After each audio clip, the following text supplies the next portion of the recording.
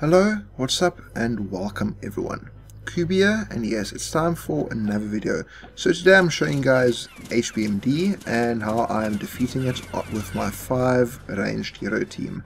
So my 5 ranged heroes, they're all level 80. I've got a Druid, Shaman, Marksman, Engineer, and an Angel.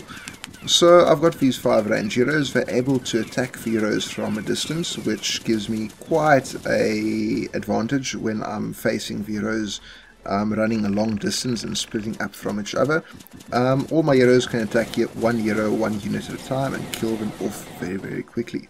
Um, my town hall is level 12. It's stuck up in the top corner, maximizing running distance, which the heroes need to run to get there.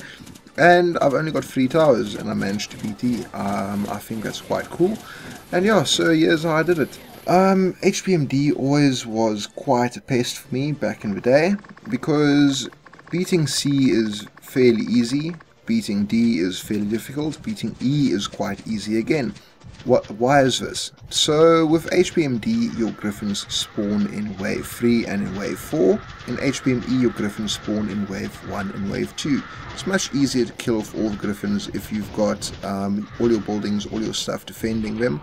But once the griffins come later and you don't have buildings to protect yourself, they can easily kill off your towers, weaken your towers, and then it kills you off um, very quickly once the later waves come or you just can't do d5 so yeah I'm beating d5 with my 5 range heroes it's not a legend team so you should have a much easier time if you've got a few better heroes but yeah, I hope you guys found this informative. I hope this helps you beat that D and get up to HBME so you can get your 50 shard drop every time.